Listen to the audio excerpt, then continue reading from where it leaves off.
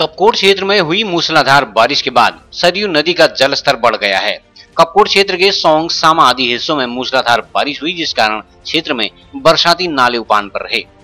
इधर जिलाधिकारी विनीत कुमार तथा पुलिस अधीक्षक अमित श्रीवास्तव ने आपदा को देखते हुए लोगों से नदी नालों में न जाने की सलाह दी है।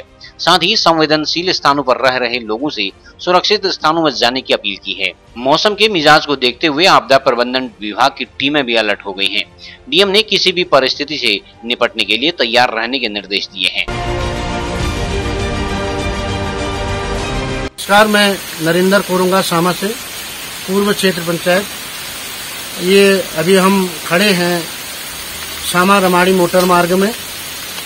कल रात यहाँ पर भारी बारिश होने से रोड बाधित है। यहाँ पर रमाड़ी से आने वाली गाड़ियाँ भी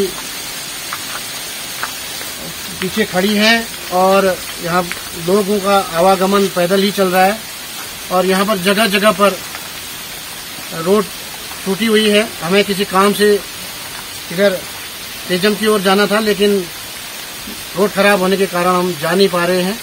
और आगे ये रोड ग्रिप के पास है। आज ये पहली बरसात है। यहाँ पर मशीन नहीं होने से ये रोड दिन भर बाधित रहेगी। हालाँकि यहाँ पर उन्होंने कुछ लेबर रखे हैं, लेकिन लेबरों के बस का ये नहीं है।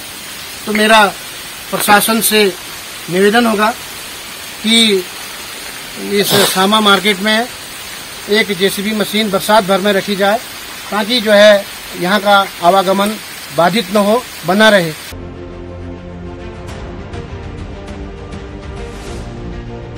सीसीएन न्यूज़ के लिए ब्यूरो रिपोर्ट बागेश्वर।